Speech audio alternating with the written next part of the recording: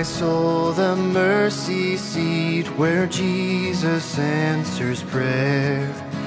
There humbly fall before his feet, for none can perish there.